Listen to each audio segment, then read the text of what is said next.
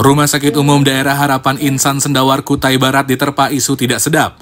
Keamanan di rumah sakit ini dikabarkan mengusir salah satu keluarga pasien. Kabar ini cepat meluas karena pihak keluarga pasien menyebarkan di media sosial.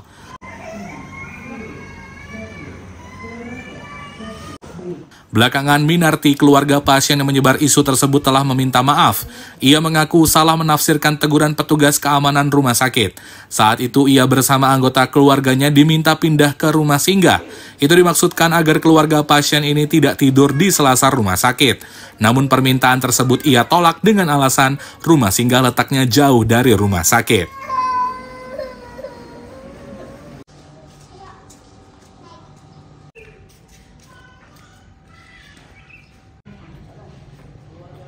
Untuk manajemen rumah sakit itu baik aja, udah mantap.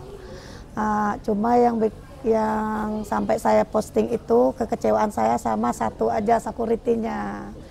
Menegur mungkin agak keras, mungkin itu tanggapan saya ya keras, mungkin dia menjalankan tugas itu udah udah benar mungkin ya. Karena saya tertekan anak saya dalam keadaan sakit parah atau gimana emosi jadi begitu datang teguran langsung panik saya sampai memosting itu. Itu kemarin cuma kekecewaan itu aja. Terus kami kemarin sempat disuruh sama satpamnya ke rumah singgah.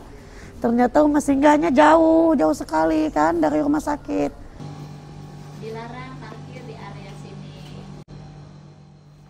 Pihak rumah sakit menyatakan tindakan petugas keamanan sudah sesuai aturan. Petugas tidak pernah melarang keluarga pasien berkunjung namun dilarang tidur di lorong rumah sakit. Persoalan tersebut diakui telah diselesaikan secara kekeluargaan.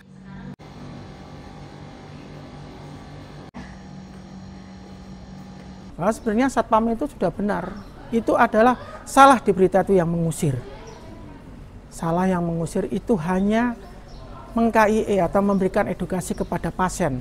Karena memang aturan secara secara aturan rumah sakit ini dibatasi untuk pengunjung Nah, setelah kami klarifikasi dengan tadi kita bertemu dengan keluarga pasien atas ibu atas nama Ibu Minarti tadi, Bu Minarti jelas permohonan maaf sudah disampaikan. Kalau memang di dalam rumah sakit sini uh, mengunjungi itu boleh, mengunjungi itu boleh, tetapi ada waktu yang ditentukan.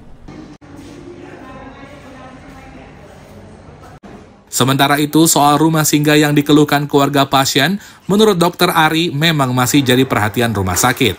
Selain karena jumlahnya cuma satu, rumah sakit berharap pemerintah daerah menambah rumah singgah tersebut agar keluarga pasien bisa lebih mudah menjenguk anggota keluarga yang dirawat di rumah sakit. Danis melaporkan dari Kutai Barat.